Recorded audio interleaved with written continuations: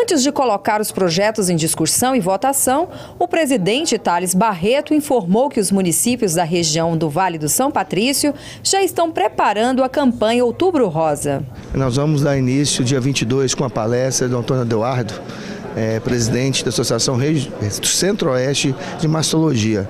Então nós estamos levando para Rialma, nós vamos fazer praticamente 16 municípios com a grande parceria com o IPASGO, mostrando a importância da prevenção do câncer de mama. Então nós vamos estar fazendo mais de 500 exames com parcerias importantes, como eu disse, com o IPASGO, que eu quero agradecer o Taveira Neto, mas levando informação. Acho que o objetivo é esse, são várias secretarias, Secretaria de Urona, de Rialma, de Cabo do Rio Verde, Piranga, São Patrício.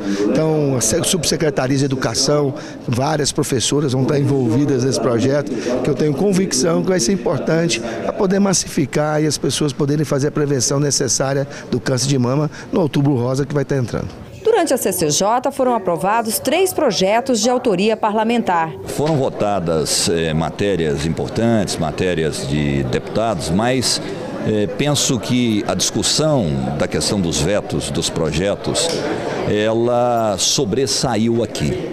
Uma discussão levantada por mim e, e seguida aqui por diversos deputados. Essa discussão levantada hoje aqui foi muito importante no início desse os nossos trabalhos desta quinta-feira. Já o deputado Thales Barreto discordou do deputado Humberto Aidar, do PT. Tem projetos que é de autoria do governo, pode ser, pode ser mudado. Se o projeto é importante, que mude, está correto. Eu discordo do deputado Humberto, mas o que eu concordo com ele é referente, na realidade, a alguns vetos que são matérias de autoria de parlamentares, né?